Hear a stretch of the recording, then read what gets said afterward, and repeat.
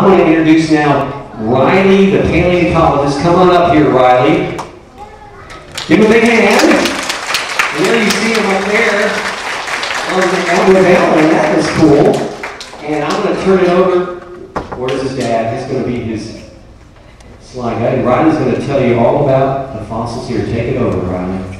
Hi, I'm Riley Paleontologist. Thank you for coming today. I'm going to show you some very cool fossils I bet. This is the first fossil, an Oviraptor egg. Oviraptor means egg robber. He was 6 to 8 feet long and lived in the late Cretaceous time period. In 1924, an Oviraptor was found on some eggs. People assumed they had been eating the eggs. Recently, however, in Mongolia, paleontologists found some eggs containing fossilized oviraptors. These eggs are very similar to the ones found in 1924 that originally made Oviraptor look like a thief, but he may have been a good mother instead. This is a velociraptor foot. Velociraptor means speedy thief. He was about three feet tall, about as tall from my shoulder down, and lived in the late Cretaceous time period. Velociraptor had a three and a half inch sickle-shaped retractable claw on his foot that was his main defense. And this claw would take down most of its prey. And it had a couple of bones right here on its foot that would allow it to be retractable where it can move back and forth to slash at other dinosaurs. And this is a Tyrannosaurus rex jawbone and tooth. Tyrannosaurus rex means tiny lizard king, he wasn't the real king. The biggest dinosaurs were Spinosaurus, Giganotosaurus, and Carcharodontosaurus. These dinosaurs are slightly bigger than the Tyrannosaurus rex. Tyrannosaurus rex was 40 feet long, as long as a school bus. Also, was Megalodon, an ancient shark. Tyrannosaurus rex lived in the late Cretaceous period with the Triceratops. Tyrannosaurus rex had a 13-inch tooth. This tooth was used for poking meat and crushing bone. How many pounds of meat and bones could T-Rex eat in one bite? A, 1,000 pounds, B, 500 pounds, or C, 200 pounds. If you guess B, 500 pounds, T-Rex about 500 pounds of meat and bone, then you are correct. Rex could about 500 pounds of meat and bone in one bite. This is megalodon tooth. Megalodon is an ancient shark. Megalodon means mega tooth, and he has a tooth the size of my hand. Megalodon lived from the late Oligocene to the early Pleistocene. The Pleistocene is the period better known as the Ice Age. This was about 200 million years after the dinosaurs lived.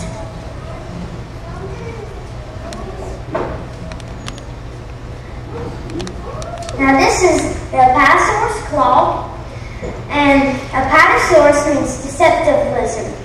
But his old name, Brontosaurus, which is no longer used, means thunder lizard. He was 79 feet long, as long as two school buses, and lived in the late Jurassic time period. He had blunt pencil-like teeth that arranged garden rakes to rake plants into his mouth they had swallowed whole because he had stomach stones around the hard plant material in his stomach. Femur bone, one of the leg bones, and it's about three feet tall. And Camarasaurus means chambered lizard because of the air chambers in his bones. This would reduce his weight so he wouldn't weigh as much. Camarasaurus weighed 20 tons and lived in the late Jurassic time period.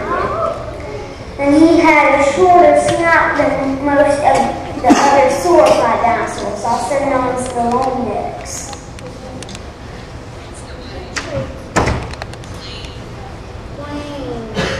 This is the Stegosaurus back, and this is one of its plates. Stegosaurus means roof lizard, covered lizard, or plated lizard. He had 17 bony plates on his back. Stegosaurus was 26 to 30 feet long he had 17 bony plates on back that were not solid. They had tubes in them where blood vessels were and that would control the dinosaur's temperature. Stegosaurus had four to eight spikes on his tail. This was one of his main defenses. These spikes were used to fight predators like Yangchuanosaurus and Allosaurus.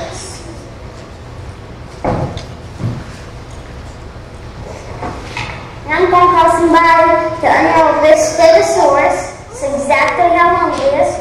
All the stegosaurus and they're going to unroll it. This will show you exactly how long the stegosaurus is. 26 to 30 feet long. You have to back up a little bit. But take up about half the size of the spring. So got a little bit more. This is as long as a stegosaurus. Imagine living in the late Jurassic period with a stegosaurus. Can have a three foot spine.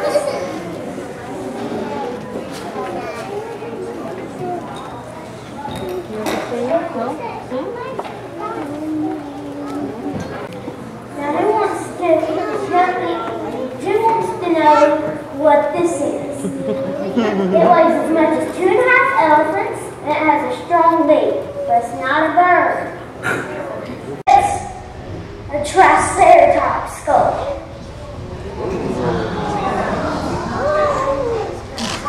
Triceratops means three-horned face because of the three horns on his head. Triceratops lived in the late Cretaceous period with the Tyrannosaurus rex. And Triceratops had cheek teeth but no teeth in the front, just like most plant-eating plant dinosaurs do.